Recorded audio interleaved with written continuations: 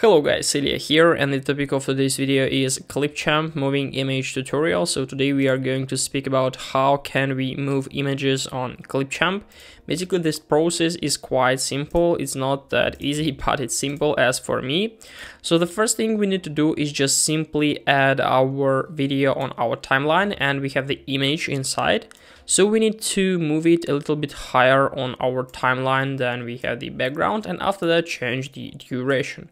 So let's say that we want to move these uh, cubes from this corner to this corner during maybe for 5 seconds or something like this.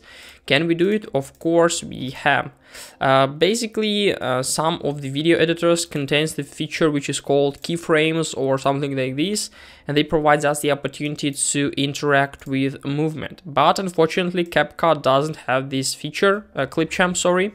So the only one way of how can we do it is just simply moving it frame by frame.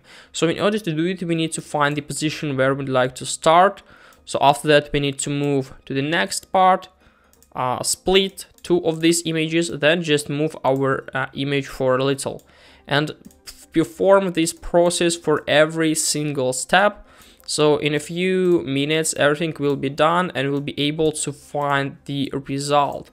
So the steps are quite simple basically, it may take a little time, depends on the number of movements you need to do, but basically it will look something like this. So now it looks like this, let's try to view how does it look like. And as you can see, it looks like this. So our cue is moving frame by frame. So unfortunately, this is the only one way of how can we make um, images move on Clipchamp. Hope this video helped you out.